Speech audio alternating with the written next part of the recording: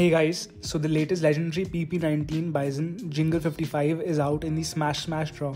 It has a 10% discount on it, which is quite cool, so you'll end up saving a lot of money. However, I don't think you should get it because the best legendary is the second legendary PP19 that came out. The new PP19 jingle has a lot of aim shake. I don't like the iron sights too much, and most importantly, the kill effect is so distracting. It's super long and enemies behind it get hidden. There's no way you'll be able to see anyone, and you'll end up losing a gunfight if there's more enemies. So, yeah.